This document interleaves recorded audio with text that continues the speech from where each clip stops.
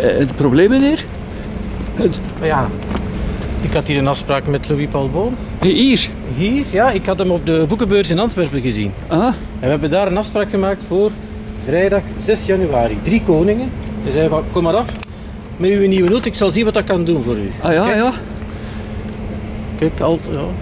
Maar ze, ze gaan hem opkuisen. november, eind november ben ik terug, want ze, ja, dat heeft hij verteld ook in Antwerpen. Ze gaan me een beetje opkuisen. Ja. Ze gingen hem eh, eh, ja, maar- een, een, een, een whisky-laagje geven, zei Ah, hij. ah ja. Maar Maar- dat Ja. komt omdat hij, omdat hij zo'n een, een visentist is. Hè. Waarschijnlijk gaan ze er wat meer, wat meer werk mee hebben dan dat ze gedacht hadden. Hè. Die nopkuis. Ja, nogthans. wacht eens. Ah, hè. En Kijk, 6 januari. Dus 6 er is toch al januari Een eindje en- voorbij, eind november. Hè. Trouwens, de boekenbeurs is ook al lang al gedaan. Hè. Ah ja, ah, ah ja, allee. Maar het is wel zijn jaar, hij zegt 2012. Ja, Allee. enfin. En, en, en We wa- kunnen wachten natuurlijk tot er eh, tot hij komt. een goede ziel passeert. Tot Ja. iemand die weet waar hij naartoe is. Hè.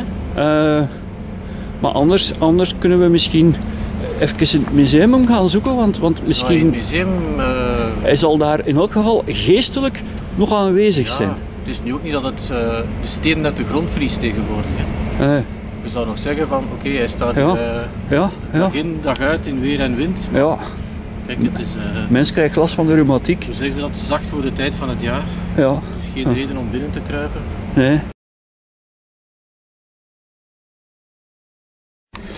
Eh, go- goeiedag meneer, we staan hier in, in, aan de balie van, van het Stedelijk Museum, het gasthuis, en we hebben gezien, eh Louis Paul Boon is er niet.